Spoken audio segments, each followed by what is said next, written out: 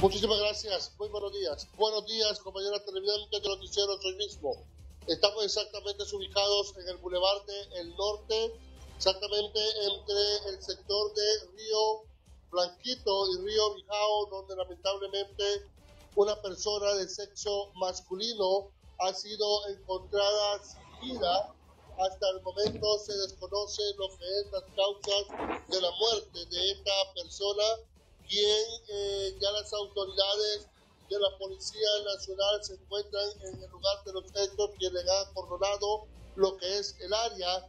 Los familiares han llegado lamentando lo sucedido, la muerte de, de esta persona, el sexo masculino, quien, repetimos, desconocemos la identidad como también las causas de la muerte de esta persona a espera de medicina forense y Ministerio Público para poder realizar respectivo levantamiento familiar.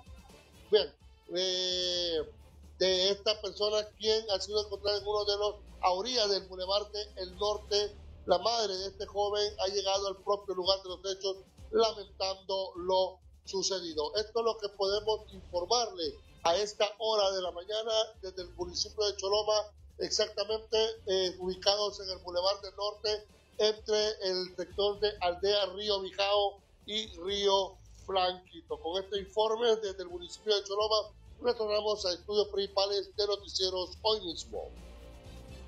Bueno, gracias, eh, gracias Daniel Mejía por el informe desde Choloma y ahora vamos con Gustavo Bustillo que se encuentra en el sector de Bonitillo.